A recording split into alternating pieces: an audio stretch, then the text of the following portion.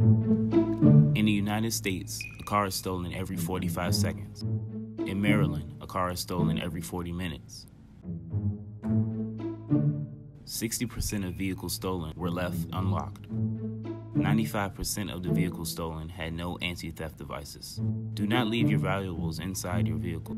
Don't become one of these statistics. Lock your vehicle. This message sponsored by the Maryland State Police, the Maryland Vehicle Theft Prevention Council, and the Maryland DC Anti-Car Theft Committee.